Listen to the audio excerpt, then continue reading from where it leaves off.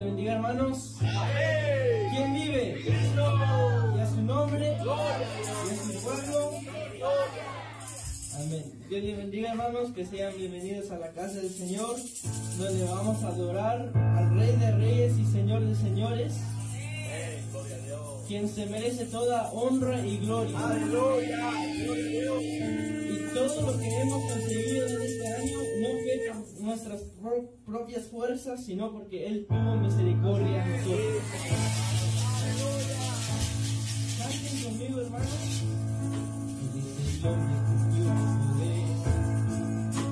Y andar sobre el mar.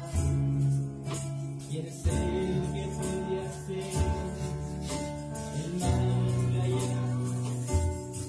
Y en el momento de la tempestad te quiera hundir, Él viene con toda autoridad y manda calmar. Él es el hombre que tuvo poder de hacer a Israel. Caminar por entre las aguas del mar hizo un camino en medio del mar para el pueblo de Israel pasar del otro lado.